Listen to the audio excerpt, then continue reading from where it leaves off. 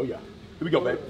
Father, name of Jesus, Lord, I just want to say thank you, Lord. Thank you, Lord, for the opportunity to be a changing uh, group of young men. Lord, thank you, Lord, for the opportunity that you have blessed these guys with to be here. Lord, I ask you, Lord, to continue to work with these guys, Lord. Heal their body, Lord. Restore them, Lord. Whatever they may be going on in their personal life, Lord. Help them out, Lord. Lead and guide them, Lord. You tell us in Jeremiah 29, 11, Lord, that you have a purpose and a plan for us, Lord, says Lord. A plan to prosper and not harm us. A plan to give hope in the future. Lord, I ask you, Lord, to let these guys trust in the plan that you have for them, not the plan that they have for them. That they trust in you with all their heart and lean not to their own understanding. And everything they do, they acknowledge you so that you may be able to direct their path. Lead them and guide them, Lord, in every way in their life, Lord. We love you. We give you all the honor and all the praise. In your son, Jesus' name we pray. Amen. Amen. I God be blessed. Right?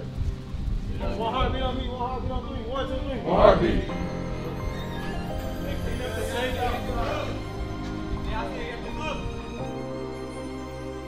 You don't want it. You don't want it. You don't want it. Come on, baby. Hold that way. Hold that way.